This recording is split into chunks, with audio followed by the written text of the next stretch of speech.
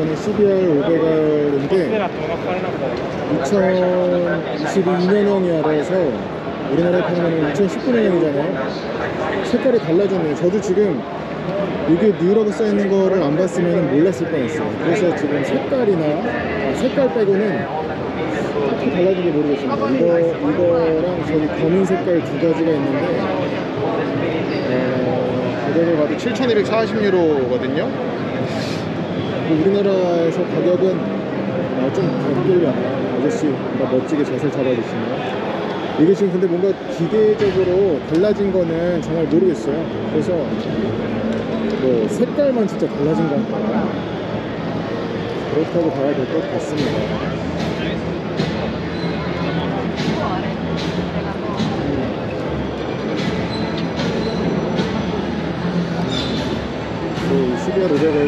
어떻게 보면 F차인데 그래도 좀 어떻게 보면 약간 좀 날렵하게 생겼잖아요. 그래서 사람들 관심을 갖는 것 같아요. 얘도 뭐 유로5 맞춰서 했을 것 같고 계기판은 달라진 거 없이 그냥 무기획정입니다.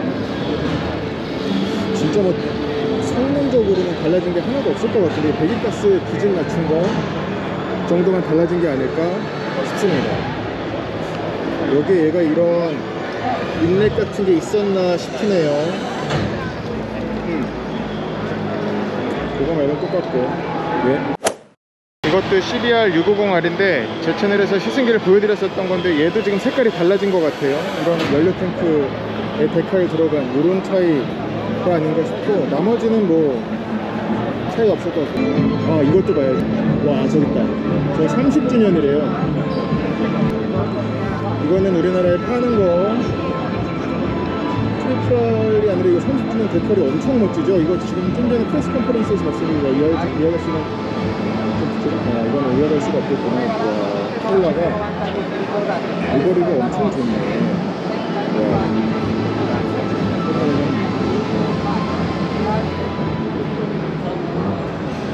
여러분을 위해서 찍는 겁니다.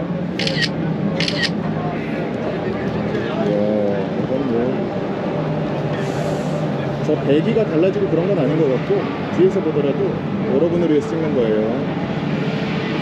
차 오토바이 보시라고. 예. 저 백칼이 참 멋지네. 저 뒤에 것도 뭐 너무 좋고. 여러분을 어, 위해서. 아, 이건 랠리 machine이군요. 랠리가 아니라 마르케즈가 탔었던 MotoGP machine이래요. 이것도 그렇고. 자, 여러분을 위해서 찍어드릴게요.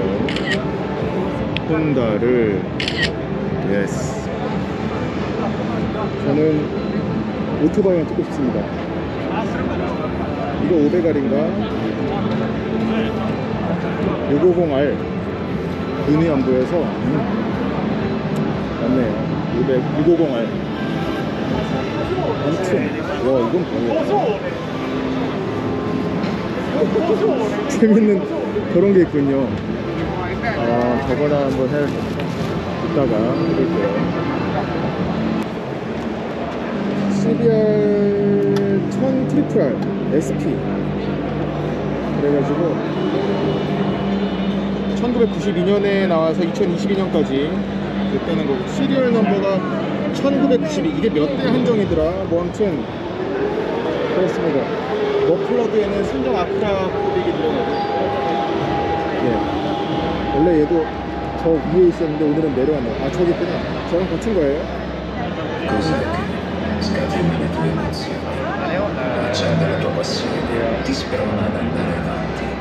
가격은 안정해졌네요 아 키가 이게 이렇게 달라지네 머플러에도 그리고 각인이 들어갔었구나 여기에 이렇게 들어갔습니다 fallire. 이탈리아 말이라서 이게 지금 전혀 알 수가 없는데 몇 대 한정인지 모르겠어요 예. 이거는 그냥 CBR 1000 triple R 얘도? 어 SP인데 이런 이 컬러도 있었군요. 검은 색깔에 휠이 이런 브론즈 컬러. 그거 말고는. 얘는 머플러에 그냥 30주년 안 써있고 CBR이라고 써있죠. 근데 요 30주년짜리는 alla fine è esattamente 이렇게 써있는 게 다릅니다.